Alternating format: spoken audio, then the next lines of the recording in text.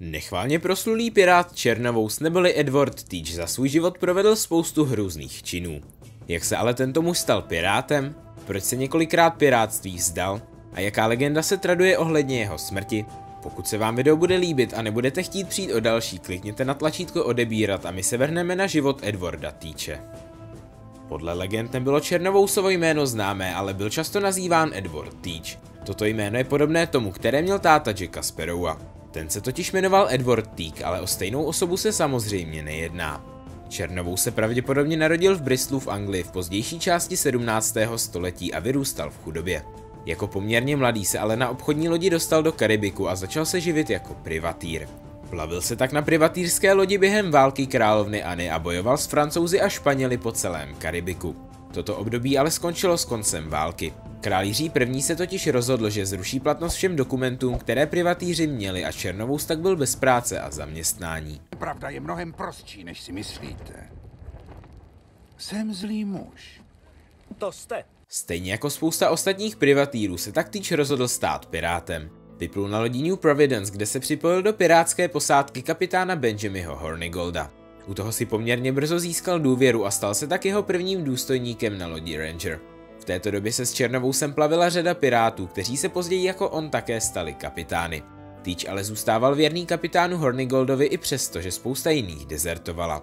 V roce 1716 tak měl Černovous už nějakou moc nad částmi věcí jeho kapitána, ale až v září roku 1717 se stal kapitánem lodi. Se svou lodí útočil na ostatní plavidla, která chtěla připlout k pobřeží Ameriky.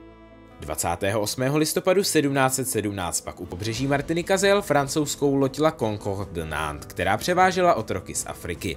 Tato loď byla největší a nejlepší ze všech, které kdy Černovou schytil a tak se rozhodl si ji ponechat jako svou hlavní.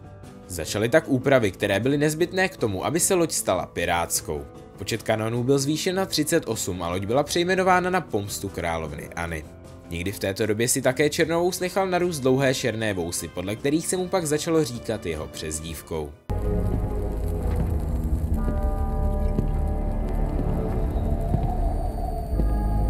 Černovous na rozdíl od ostatních pirátů neplul pod klasickým Jolem Rogerem, ale vytvořil si vlastní variantu této vlajky.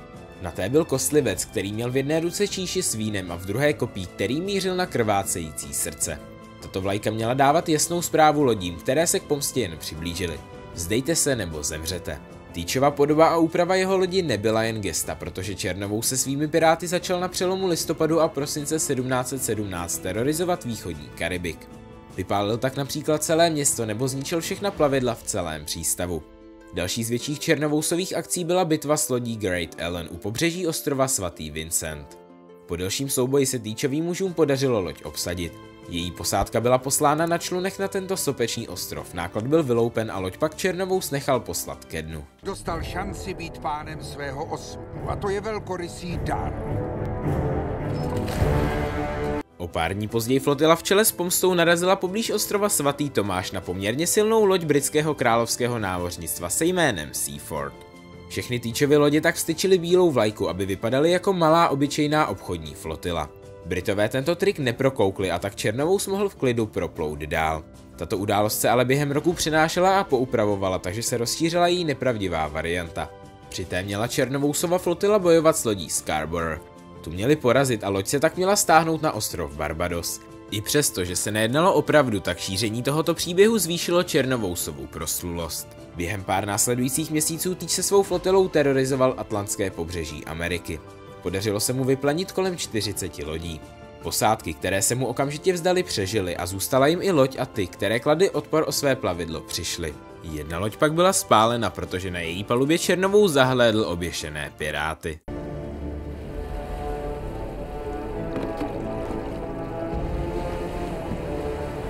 Během zimy v letech 1717 a 1718 byl Černovou se svými piráty ve střední Americe a v jeho flotile se nacházely už tři lodě.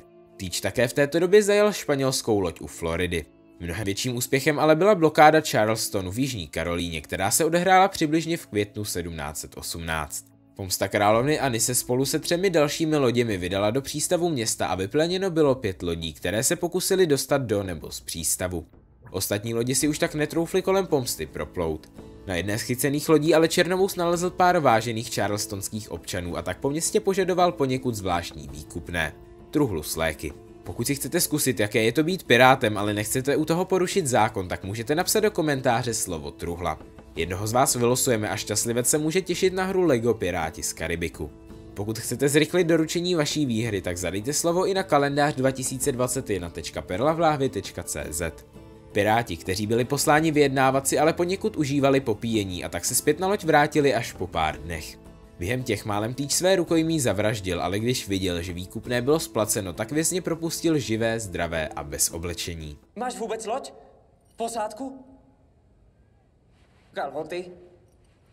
Slavný pirát nelpí na takových nicotnostech. Flotila se pak vydala na sever, kde nechal Černovou z část svých lodí, včetně pomsty, vplout na Mělčinu. Část posádky ho naškla z toho, že to udělal na schvál, aby snížil počet pirátů, se kterými se musel dělit o svou kořist. Jak to doopravdy bylo, nezjistíme, ale Černovou z poté ze třech svých lodí vybral všechny cenosti, většinu posádky nechal na pobřeží a vydal se do severní Karolíny. Tam přijal dokument, který anuloval jeho předchozí činy proti koruně a stal se tak znovu normálním občanem. Vzal si dokonce Mary Ormondovou, se kterou ho oddal sám guvernér. Nejednalo se ale o jeho první ženu, Mary totiž byla 14. Černovousova manželka. Dokonce se i věřilo, že 12 jeho předchozích žen je stále naživu. Ani tento snětek ale Edvarda Týče nepřiměl k tomu, aby žil dlouho počestný život a tak se zanedlouho vrátil k životu piráta. Vydal se tak na jedné ze čtyřiho zbývajících lodí užívat si svůj majetek. Říkala jsem ti, že mám loď. Ne, to černovou má loď, na který jsem teď vězněm. Navenek to ale pořád vypadalo, že Černovou žije životem obyčejného občana. To se ale nezdálo guvernérovi Virginie, který se rozhodl, že nechá týče zničit i přesto, že na to neměl pravomoc. Černovou se ale pohyboval ve vodách, ve kterých bylo těžké se k němu dostat s větší lodí. Byly proto najety dvě menší lodě, které měly pod vedením poručíka Roberta Maynarda zabít Černovouse. Dokonce byla i vypsána odměna a to 100 liber za Černovouse a menší sumy pak za jeho členy posádky. Poručík Maynard tak vyplul 11. listopadu 1718 s 30 muži na lodi Perla a s dalšími 25 na lodi Ranger. Černovouse se jim podařilo nalézt na večer o 10 dní později. Loď Adventure, na které byly, ale měla jen posádku 19 pirátů a tak se o den později poručík rozhodl vyslat vpřed malou loďku. Na tu se ale hned snesla řada střel a proto se vojáci stáhnuli zpět. Černovus ale na nic nečekal a využil své znalosti místních vod.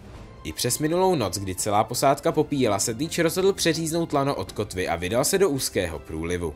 Poručík Maynard ale rychle zareagoval a vydal se za jeho nepřítelem. Když se dostal do dostatečné blízkosti, tak po sobě začali kapitáni řvát. Budou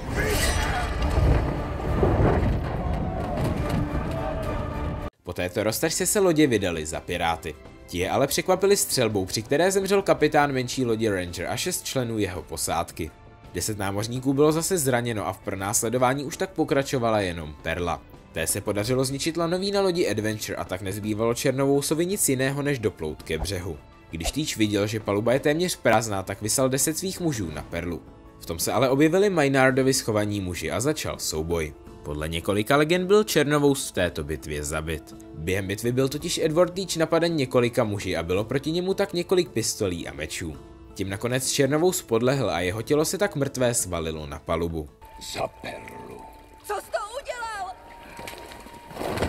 Poručík na znamení vítězství usekl jeho hlavu. O tom, co se doopravdy stalo dál moc nevíme, protože tyto události jsou zahaleny spoustou legend. Podle těch mělo bezhlavé Černovousovo tělo třikrát obeplout loď a pak vylézt zpět na palubu lodi Adventure. S jistotou ale víme to, že Černovousova hlava byla pověšena na loď jako trofej a všichni jeho muži byli popraveni. Hlava pak později vysela i ve městě Bathtown. Líbilo se vám video? Nezapomeňte na like a pokud chcete i další díl o tomto pirátovi, napište do komentáře Černovous.